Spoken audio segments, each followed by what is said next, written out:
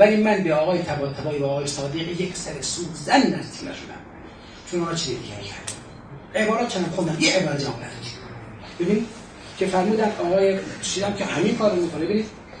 سقل اکبر از وجود سقل اصغر کفایت کرده یعنی چه سنت ها رد نکردن؟ چی میگه رد نکرد عین عبارت شده دو قرآن به تنهایی ریسمان نگهدارنده الهی است.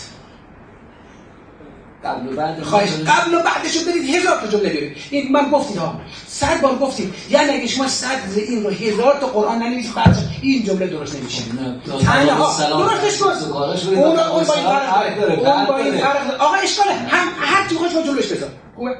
هم هم دل بخواه هم اصلا شما اگر یک سال به شما آیات باشه اگه در فهم آیات باشه فهم آیات آقا این اونو نگفت چی رو.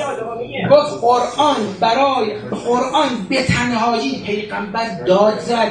گفت مردم به خدا اهل بیت من نذارید ها؟ تا کن فیکم ثقلا کتاب الله چقدر داد زد؟ من باید از علی رها بشید من باید بیان واسه رها بشید آقا میگه قرآن به تنهایی ریسمان نگهدارنده است. اون میگه اعتصم به حبل الله میگین حبل الله که میگیم علیه. شما میگین نه آقا خود قرآنه چطور آخه شما سر کلام به این صراحت می‌خواد شما زیر پا بذارید؟ صد جلد جلوش کتاب برید این جمله رو تفسیر کنید. سه. قرآن برای ایمان و احکام اسلامی کافی است. بعد میگن البته برو نماز از امام یاد بگیر. خب گیر کردی دیگه. تفسیر تفسیر غیر آقا گفت تفسیر. ببینید آقای من قرآن برای ایمان و احکام اسلامی کافی است. هرگز نیازی به بیان احدی ندارد.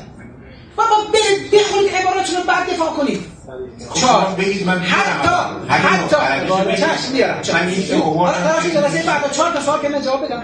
حتی حتی پیامبر بزرگوار و سایر معصومان. حتی ببینید در در همه قرآن یک واژه وجود ندارد که تبیین معنای آن محتاج به غیر قرآن باشد.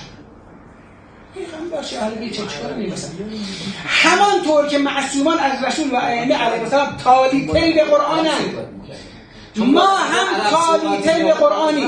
آقایون خوب دقت کنید به خدا حرفا خیلی پرمغزه یکم روش تحمل بشه. همانطور که معصومان از رسول و ائمه تالیتین به قرآنند ما هم تالیتین به قرآن جز قرآن دلیل شرعی و تشریعی وجود نداره اصلا. قال فلان قال فلان این قال قاله ها را کنار بذارید. و با محک اصلی قرآنی وارد بحث دینی شدید ما کاری نداریم که روایت هست یا نیست. اصلا به سند کار اصلا میگه به کار ندارم مطلقا. اصلا ما کاری نداریم که روایت هست یا نیست. برای این که محور اول و آخر اعتصام قرآن است. این عبارات در جلسه بعد جواب